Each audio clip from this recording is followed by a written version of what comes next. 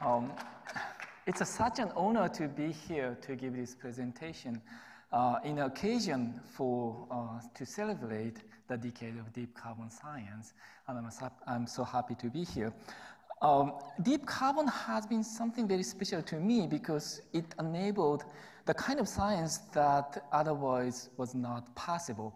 Right? So back in 2010, 2011, around that time, I had this brilliant, brilliant idea to use infrared spectroscopy to measure this unique isotopologue of methane.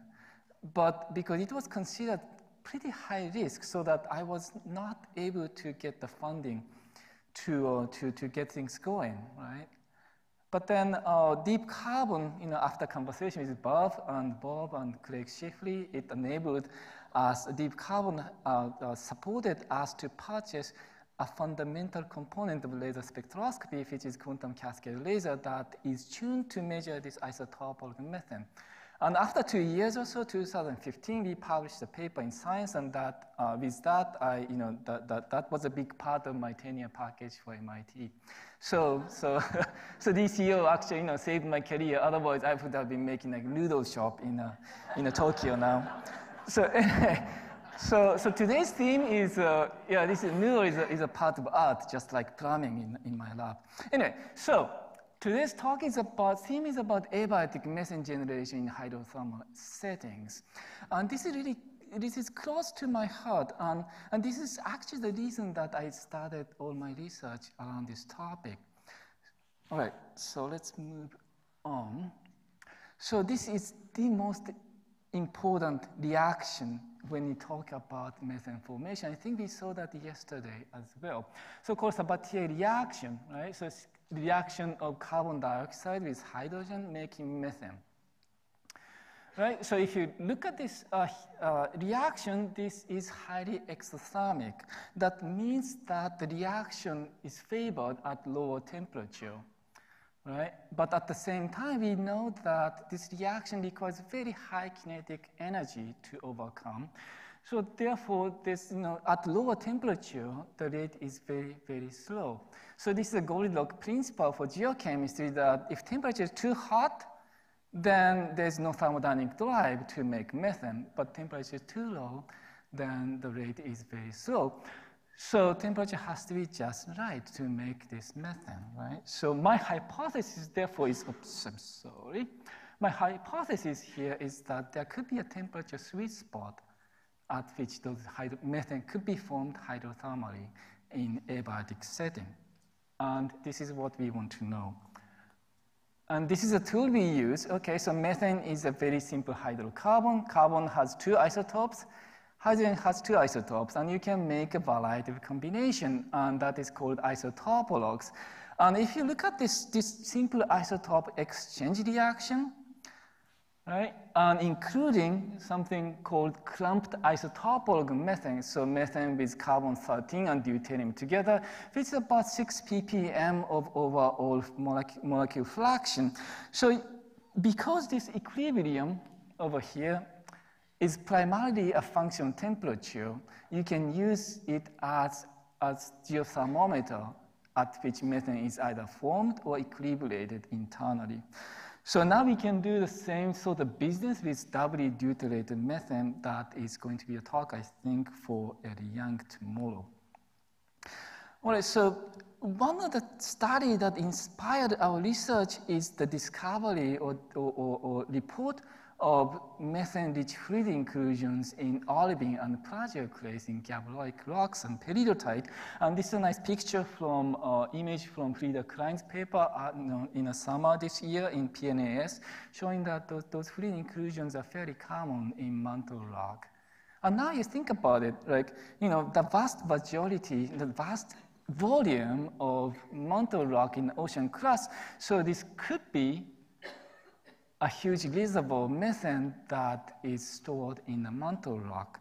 Okay, so that is the motivation of our study. So when I talked to Jeff Seewald and Eoghan Reeves and Jill McDermott, and, we, and they supplied us a methane sample collected from those hydrothermal vent sites, okay, Lucky Strike, Lost City, Rainbow, and Von Damm, those uh, vent temperature there ranges from nearly 100 to nearly 400 degrees. So we picked a sample based upon this temperature. And what is exciting or amazing for this data set is that isotopically, methane is very much homogeneous, okay? No matter where it came from, we see same sort of carbon isotope, same sort of deuterium isotope ratios, and also same sort of clumpiness, that's what we call, and from which we infer the temperature about 310 degrees centigrade plus minus 50. So wherever the methane came from and what, whatever the vent temperature, fluid temperature, methane appears to have come from the common source. And this strongly points that the methane came from just harvesting those pre-existing methane-rich fluid inclusions. And this is the idea that we put together in a paper in GCA. So that's not our you know, original idea, but you know, Jeff Seewald, Frieder Klein, and Deborah Kelley, and all these ideas. And we can see that we can put the temperature number for this model. So basically what we are suggesting here is that uh, methane formation is not associated with this actively hydrothermal circulation fluid, right? So lost city, we are talking about 90 degrees centigrade, and this is not where methane was formed. Methane was formed like 300 degrees centigrade at the deep inner crust. All right, let's now move on to terrestrial system. So again, DCO supported this, this fantastic trip to Iceland, right? So we, this is our colleague, Andri Stefánsson and Jens Fiebig. And this is our graduate student, Jeemin Rhim. So, okay, look at this, like ice over here and steam over here, and this is, to me, this is as abiotic environment as it can be. So, those are called steam vents because 99% or more composed of water vapor. And it also contains some CO2, hydrogen, nitrogen, and methane. It's about a few ppm in volume ratio. All right, and then we can also sample geothermal wells in Krafla, okay, it's a northern part of Iceland, where we can sample directly of geofluid from 1.5 or 2 kilometer depths. And again, okay, those carry some methane, so we wanted to know what kind of temperature we're going to get from this, this, uh, this sample. So Patrick Beaudry is he's our graduate student sitting over here. Uh, he, made, he made this measurement, fantastic, and he has a poster today. So if you're interested in detail, just stop, please stop by his poster. So what he measured is the temperature over here in y-axis. Okay, this is, a, this is abundance of this clumped isotope and from which we infer the temperature of 430 degree plus minus 130. So this is like 100 degree hotter than the methane we collected from seafloor hydrothermal vent system. And I found this temperature to be very interesting because this is slightly above the critical point of water, at least for pure water, right? And then therefore the density decrease and then uh, chemistry is going to be different from normal aqueous fluid. So the question is, what is the mechanism to make methane in this high temperature environments. So now, okay, we started working with chemical engineer at MIT who developed this fantastic, very interesting software called Reaction Mechanism Generator. And this software was developed originally to model combustion chemistry, which is high temperature and gas phase reactions.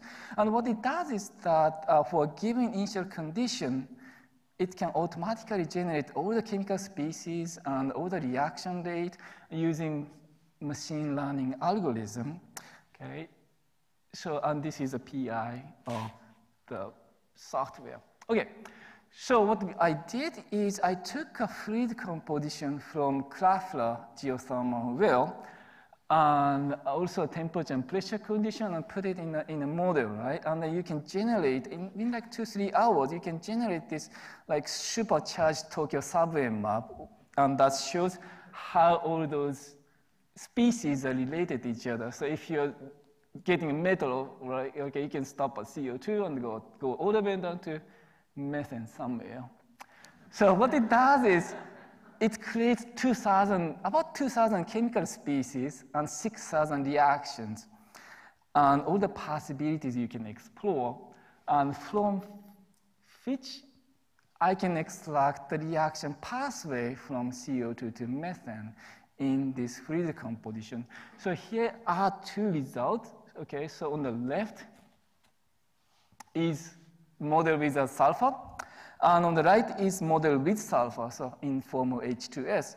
So what you can see here is that the fluid without sulfur, the chemistry is mostly run by hydrogen radical, and then CO2 is going to be step, stepwise reduced to carbon monoxide, aldehyde, and methanol. But this reaction to form methane is very, very slow because the, the rate is limited by the unimolecular decay of methanol to methyl radical. And once you make methyl radical, then it, it picks up hydrogen from water, makes methane, which is a very quick reaction. So what is very interesting to me is that if you add sulfur, then the key ingredient here is hydrogen sulfide radical, and, but also makes this, this aldehyde or sulfide thioaldehyde species, and then the rate limit again is the formation of methyl radical. So now we know sort of the reaction mechanism, possible reaction mechanism applied for this geothermal environment. So one interesting prediction from the model is that sulfur accelerates the rate of Sabatier reaction because of the HS radical. I have one minute. Okay, and it's like it's about one million times faster if you have sulfur in your system. All right, so for isotopologue exchange, we can also predict that the isotopologue exchange reaction is also catalyzed by radicals, and it takes about 10 years to exchange this, this, uh, this isotopologue at 700 Kelvin. Okay, so let's go back to what we see in Iceland. Okay, so what we can tell is that methane experienced about 400 degrees centigrade at about 10 years. So this is the bottom line that I can tell. So if methane is thermogenic, meaning that formed somewhere else, then it should have traveled to this very high temperature reaction, the very close to magmatic intrusion and came back for us to analyze. And if those methane is abiotic, then it could have been, it could have been formed in a somewhat stagnant pocket water body, that's something that Bob just mentioned. And because methane formation might take about 10 to 1,000 years. All right, with this, I would like to acknowledge my, uh, my group of people, and I would like to take any questions if you may have.